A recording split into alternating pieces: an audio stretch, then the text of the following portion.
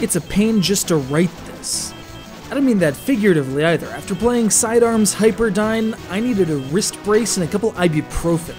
This thing is brutal on a scale that our 20 teens' consciousness can barely compute. On top of the injury, I became dizzy while playing for only 20 minutes. Auto fire? Nope. You have to hit that button every time you want a bullet on the screen.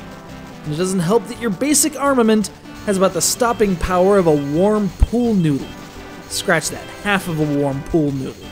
The year is 1986. The evil masterminds behind all of this are Capcom, and I'm about to forward them a bit.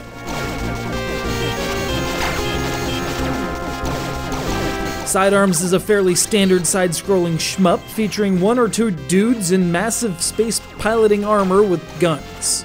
Lots of guns. There's your standard pool noodle shooter and five special weapons that have to be found in the wild before they're added to your arsenal. There's a railgun, a spread gun, a three way gun, and yes, that display down at the bottom of the screen there does look a hell of a lot like Gradius. The mechanics are a little different though. You can collect the guns in any order and switch between them at any time. And should you die, and you are going to die repeatedly and ingloriously, you only lose whichever gun you were holding at the time. Which is refreshing until you die three times in short succession and lose your entire arsenal and then have to take down a boss with the aforementioned pool noodle cannon.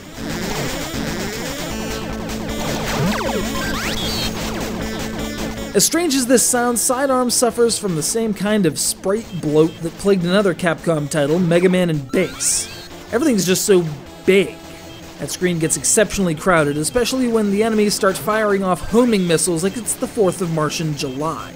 It certainly doesn't help that as a flying spacefaring robot armor thingamabob of immense size, your hitbox is freaking huge.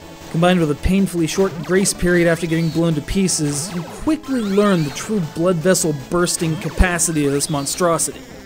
Good games are tough, great games are brutal but fair. This. This is on normal difficulty and it's still having its way with me.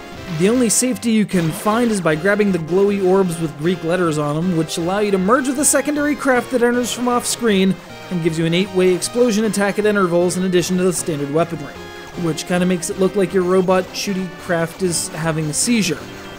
Likely the result of the intro video, which seems like the inspiration for that infamous Electric Soldier Porygon episode. And you're supposed to input your initials while this is happening.